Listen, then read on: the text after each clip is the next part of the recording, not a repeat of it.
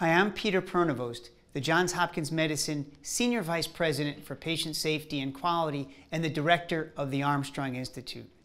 One of the most important ways you can keep yourself safe in caring for patients with Ebola is to make sure that you learn to put on and take off personal protective equipment in the most appropriate way.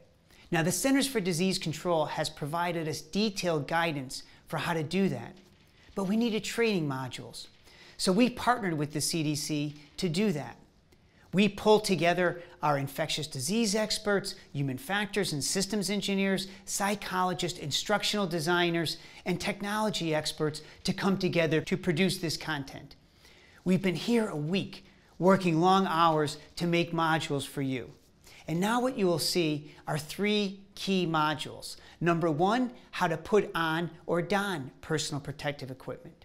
Number two, how to take off or doff personal protective equipment. And number three, how the observer can work together to help ensure your safety using teamwork behaviors that were developed by the Agency for Healthcare Research and Quality. Now, we know these are anxiety filled times. Believe me, I'm a critical care physician, I'm right with you. But we also know that with proper training and when we ensure your competency in putting on and taking off this equipment, we could safely care for these patients. So we hope you enjoy the training. And from our colleagues at the Centers for Disease Control and our colleagues at Johns Hopkins Medicine, we thank you for all you do for patients. In this video, you will learn how to doff or remove your personal protective equipment, or PPE, in accordance with CDC protocols. Following the doffing protocol will minimize the risk for disease transmission, so it's very important that you understand all the steps. Your trained observer will help you with the process.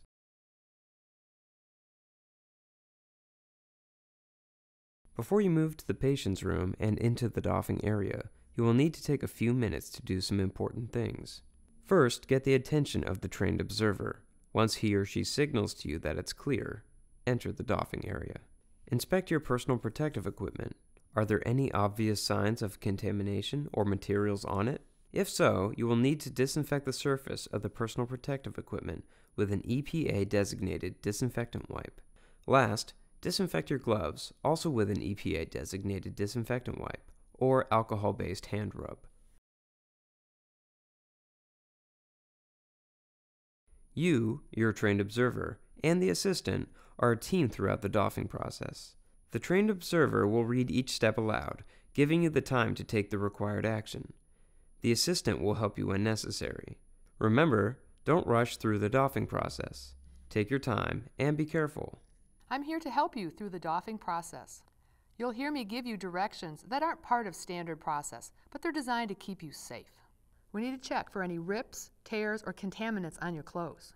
Remember, go slowly and do not touch your face. As you remove each item, remember to place it immediately into the designated waste receptacle. Let's work through this together.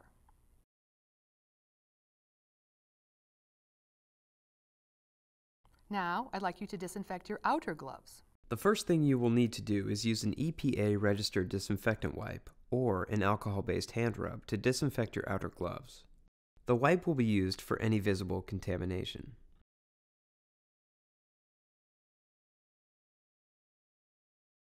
If you're using an apron, you now need to remove it.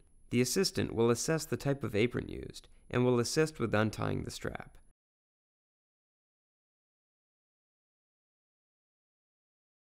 Then, you will remove the apron by breaking the strap or lifting the strap over your head, rolling from the inside to outside and away from your body, and discarding it in the appropriate receptacle. If the apron can be gently pulled away from the body by tearing it at the neck, this process should be used. Once the apron is off, inspect your personal protective equipment for visible contamination, cuts, or tears. If you see your personal protective equipment has been compromised, or if there are any signs of contamination, disinfect it with an EPA registered disinfectant wipe.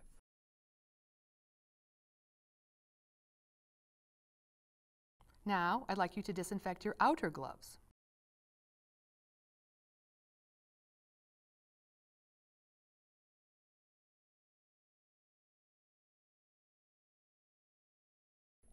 In this example, the boots are under the coverall and are being removed later in the sequence.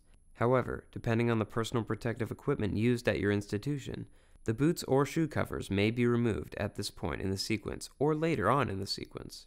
There are two very important things to remember. First, pay special attention so that you don't contaminate or tear the inner glove. Second, don't snap the gloves, which could cause spray. In the next step, you're going to remove your outer gloves. Please do this slowly to avoid contaminating or tearing the inner gloves. Hold one of your wrists so that your thumb points up. Pinch that glove and lift at the wrist. Then, roll it down until the glove is completely off your hand, in a ball, in the palm of the other hand. Then, slide a finger down and inside the outer glove on the other hand, and pull it off until it's balled around the first glove. Dispose of the gloves.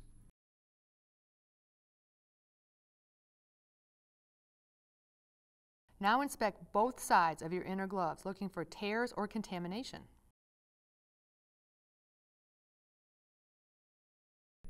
If you do see a tear, hole, or signs of contamination of the inner gloves, disinfect with EPA registered disinfectant wipes or alcohol based hand rub. Then, remove the inner gloves, making sure not to contaminate your bare hands. Once the gloves are off, perform hand hygiene with alcohol based hand rub on your hands. Then, put on a new set of gloves up to the edge of the coverall sleeve.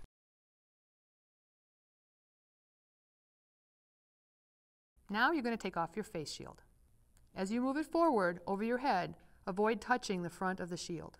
To remove the face shield, tilt your head forward slightly.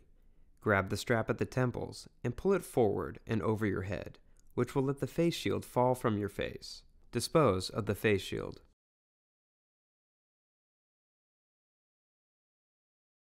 Disinfect your inner gloves again.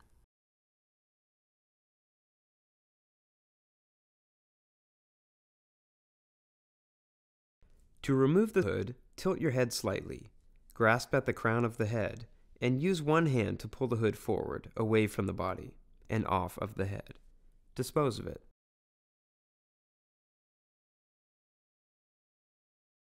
Disinfect your inner gloves.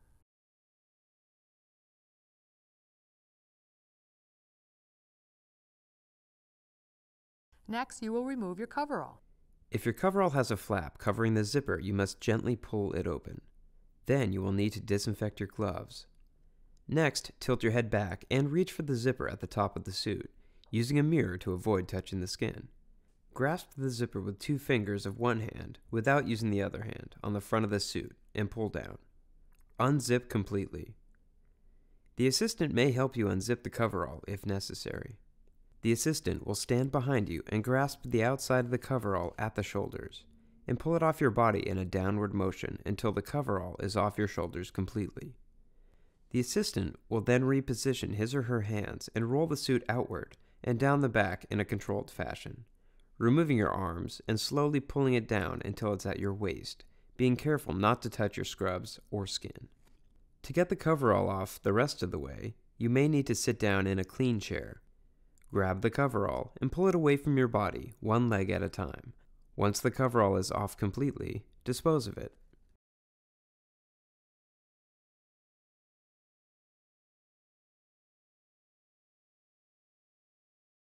Because you just removed your coverall, I'm going to ask you to disinfect your gloves one more time before we change them.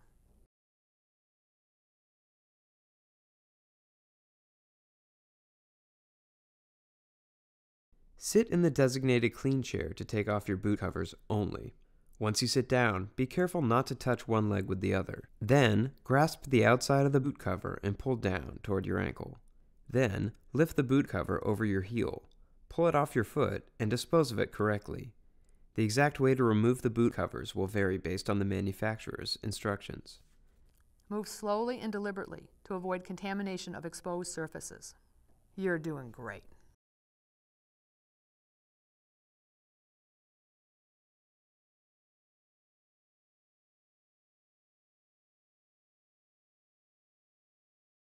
Please do this slowly to avoid tearing the gloves or contaminating your hands. It's important that you don't touch your face or any other exposed skin with your bare hands now.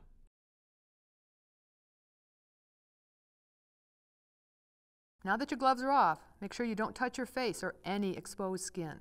Perform hand hygiene, using alcohol based hand rub only. Then put on a fresh pair of gloves and you're ready for the next step.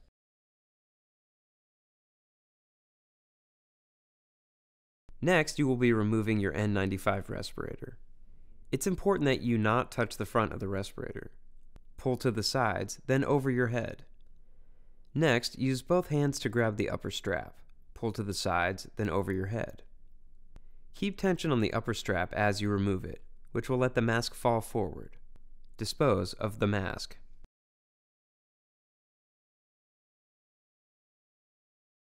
You're doing great. Now disinfect your gloves.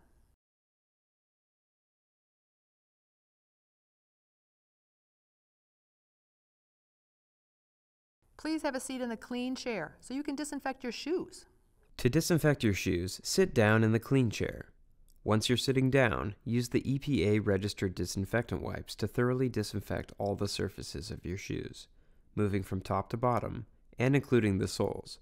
Be sure not to touch your ankles.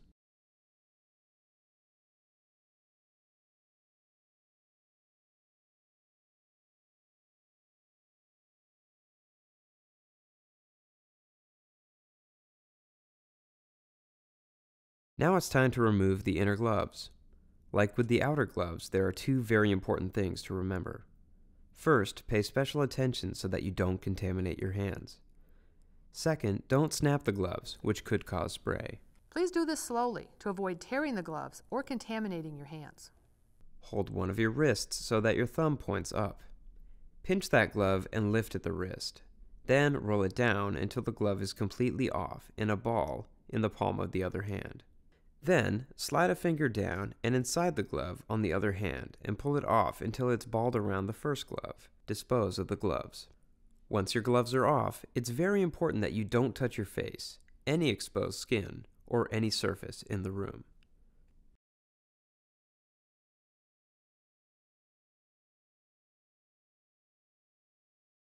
Now that your gloves are off, make sure you don't touch your face or any exposed skin.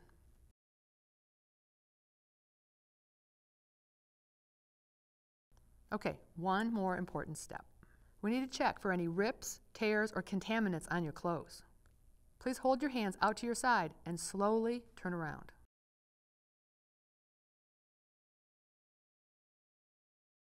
Okay, everything looks great. Congratulations! You've now successfully finished the doffing process, so you can leave the doffing area. You need to find the closest designated shower where you can remove your scrubs and bathe with soap and water. A shower is recommended at the end of each shift.